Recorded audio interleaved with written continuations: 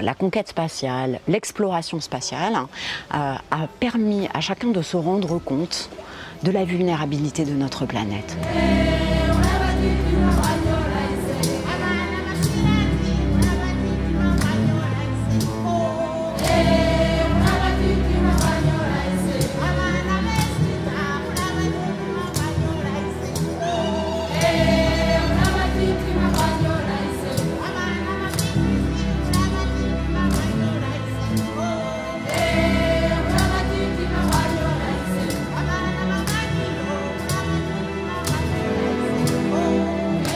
20 ans, 25 ans, le CNES s'intéresse à tout ce qui est environnement, évolution du climat. Et donc on a toute une flotte de satellites. On travaille beaucoup avec l'Agence spatiale européenne sur le programme Copernicus. L'objectif c'est d'observer la Terre. hein. Donc il y a tout ce qui est optique, clairement. Donc ça, ça a été quand même le début des grands satellites d'observation de la Terre, c'est-à-dire faire de la cartographie pour comprendre euh, comment, quelle est la géographie. On a également tout ce qui est étude du climat. Pour le suivi du changement climatique, on a un certain nombre de variables essentielles, ce qui s'appelle les variables climatiques essentielles, et qui permettent de faire toutes les modélisations qui sont utilisées par le GIEC. Sur ces 56 vala- variables essentielles qui ont été définies par le GIEC, il y a la moitié qu'on ne peut documenter que depuis l'observation spatiale. Donc vous comprenez bien que l'ensemble des mesures que nous faisons, une partie des satellites que nous utilisons, sont destinés à la communauté scientifique pour modéliser le changement climatique. On a des satellites qui s'intéressent à l'hydrologie, à la salinité de l'eau, euh, qui s'intéressent à l'humidité des sols, donc à l'évolution des forêts, à la désertification.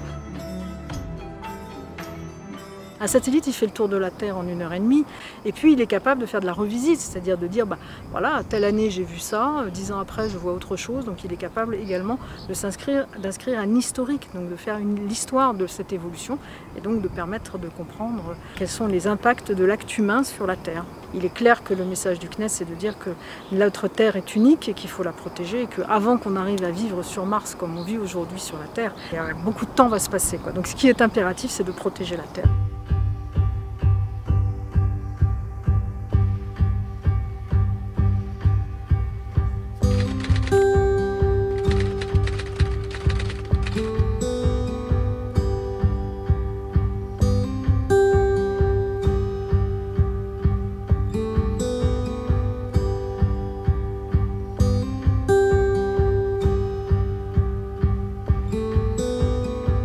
L'orpaillage en Guyane, bah, c'est une activité ancienne hein, du 19e siècle qui a repris son essor dans les années 90 avec l'augmentation du cours de l'or. Jusque dans les années 2000, euh, 2008, on a eu une croissance exponentielle euh, de cette activité illégale. On parlait d'une activité légale.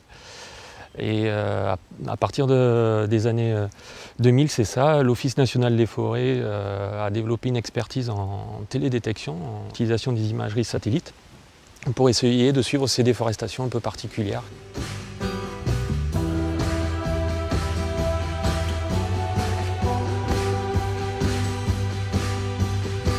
Les satellites d'observation de la Terre permettent d'avoir une couverture globale de, tout le territoire, de, la planète, et d'observer les, changements. Et toute perturbation va entraîner un changement dans l'image qu'on va observer depuis le satellite. Et c'est là-dessus qu'on va travailler pour euh, faire cette détection de changement à partir du moment où on va observer soit une dégradation du couvert forestier, soit une déforestation et, et un sol nu. Et là, en général, je commence par euh, sélectionner, euh, je fonctionne par niveau de zoom. Ça, Euh, c'est de la photo sentinelle, on est d'accord. Et donc moi, je vais commencer à cette échelle-là et euh, je vais faire euh, chaque fois deux, euh, deux dalles. Et là, je vais repérer euh, des petites zones comme ça. euh, on, voit bien la différence entre le légal, où c'est vraiment une des grosses zones, et le l'illégal, où c'est diffus et pas forcément très facile à ouais. voir. Donc, dans un premier temps, on va récupérer euh, les images satellites, on télécharge les images satellites.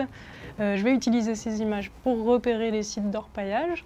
Elles ont une composition colorée en vraie couleur, ce qui nous permet de reconnaître euh, des zones orpaillées sur un fond de forêt amazonienne assez facilement euh, sur l'ordinateur.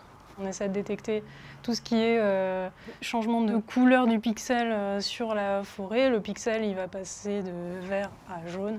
Ici, là, c'est de la pollution. Clairement, le cours d'eau tout jaune comme ça par rapport euh, à la couleur du cours d'eau qu'on a au-dessus.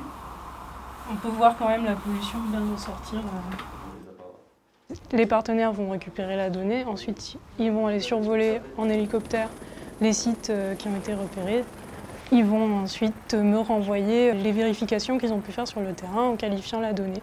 Un vrai partenariat entre ce qu'on fait au bureau et ce qu'ils font sur le terrain.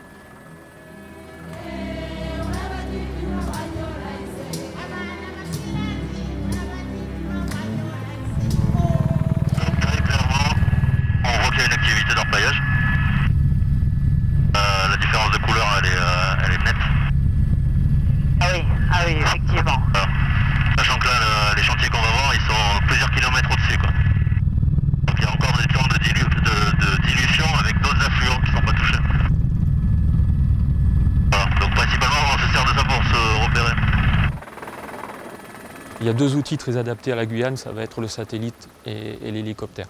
Voilà, pour la, vision fine, c'est euh, projeter des, zones sur le territoire grâce aux missions héliportées. Et euh, depuis euh, que l'OM existe, en fait, on a révolutionné ces missions héliportées parce qu'avant, on partait quasiment à l'aveugle. On quadrillait une portion de territoire. Aujourd'hui, euh, un, agent de l'ONF qui part en mission euh, sait où il va aller et il connaît euh, les nouvelles zones d'activité. Il peut en découvrir de nouvelles hein, qui ne sont pas forcément vues, mais il va être orienté grâce à l'imagerie satellitaire. Sur le volet évaluation des pressions environnementales, sans le satellite, aujourd'hui, on serait incapable d'avoir la finesse qu'on a en termes d'analyse d'impact et de, mesurer ce qu'il en est pour le- l'environnement guyanais.